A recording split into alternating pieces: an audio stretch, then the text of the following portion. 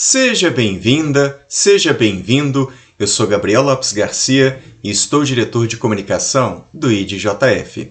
Nesse vídeo, explico que a prece pode ser uma ferramenta para nos tornarmos pessoas melhores, de acordo com a filosofia espírita. Para o Espiritismo, a prece é um ato de elevar o pensamento até Deus e que traz uma série de benefícios. Um deles é justamente a capacidade de nos ajudar a nos transformarmos em pessoas melhores. Como que isso acontece? Através do ato da prece, que é uma manifestação da lei de adoração em nós, nós buscamos modificar o clima dos nossos pensamentos, dos nossos sentimentos, e por isso nos abrimos às inspirações que vêm do mais alto. Os bons espíritos, e aí incluído nosso espírito protetor, já gravei um vídeo sobre isso, vou deixar aqui no card. No momento da prece, esses bons espíritos e o nosso espírito protetor encontram em nós um clima mais adequado para que consigam exercer a sua influência benéfica sobre nós. Então, já é uma primeira forma da gente se melhorar, porque a gente se abre a esses conselhos salutares e que podem nos ajudar de maneira muito poderosa, fazendo as escolhas importantes da nossa existência. Além disso, um segundo fator é que o hábito da prece vai gerando em nós um fortalecimento íntimo para que possamos lidar com aquilo que genericamente chamamos de tentações, para poder lidar com as nossas fraquezas.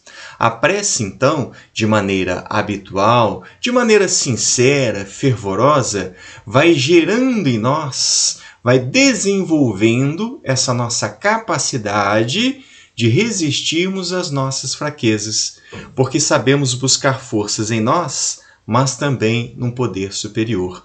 Em alguns momentos, a prece vai ser como um bálsamo que vai aplacar o calor excessivo das paixões.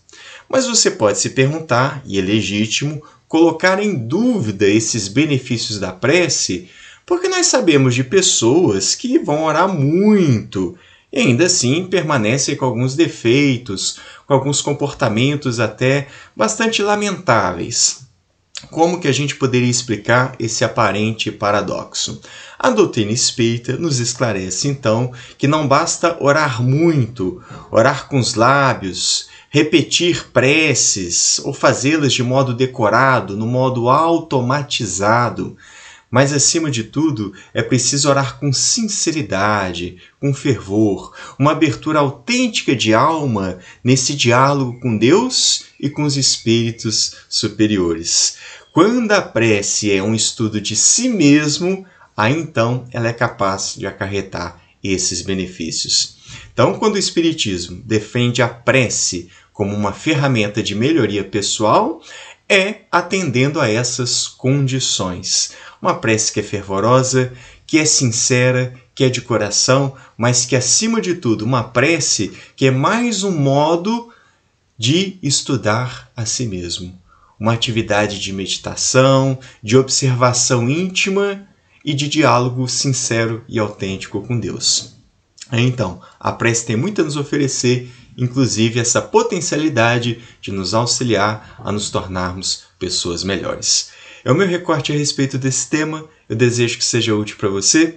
Peço para curtir e compartilhar esse vídeo, nos ajudando a divulgar a filosofia espírita. Se você é novo aqui no canal, aproveita, te inscreve, ativa o sininho das notificações e vai ficar por dentro de tudo que nós produzimos. É isso, pessoal. Forte abraço. Até a próxima.